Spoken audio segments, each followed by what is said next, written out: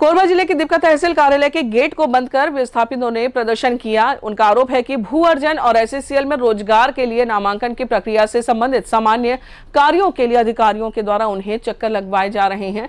काफ़ी समय से इनके सामने परेशानियाँ बनी हुई हैं। कई बार शिकायत करने के बाद समाधान नहीं होने से लोग बेहद नाराज़ हैं।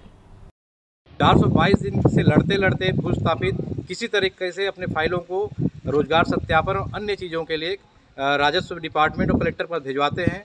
उसके बाद में ए से लड़ना अलग होता है और कलेक्टर बार बार बयान जारी करते हैं कि हम तेज़ी से काम कर रहे हैं, तेज़ी से काम कर रहे हैं। उनके जो राजस्व डिपार्टमेंट के अंदर में तहसील कार्यालय है, उसके अंदर में भूस्थापितों को बिना किसी कारण के महीनों घुमाया जाता है, जिसको लेकर के भूस्थापितों में काफ़ी आक्रोश था। इसलिए आज दीपका तहसील कार्यालय को बंद कर दिया गया था कि जब तक भूस्थापित के जो फ़ाइल अंदर में है, उस पर काम शुरू नहीं होगा और उनके काम नहीं होंगे, तब तक कार्यालय को नहीं खोलेंगे। उसके बाद में एसडीएम कटघोरा यहाँ पे आके आश्वासन दिए हैं कि जो भी फाइलें भूस्थापित के दीपका तहसील कार्यालय में है उसको आज शाम तक किसी तरीके से निकाल करके कल कर, कलेक्टर कार्यालय भेजेंगे। उसके बाद ये आंदोलन स्थगित हुआ है और कल तक अगर भूस्थापितों को फ़ाइल को आगे कार्रवाई के लिए नहीं भेजा जाएगा रोज़गार के लिए तो हम पुनः दीपका तहसील कार्यालय को फिर से बंद करेंगे।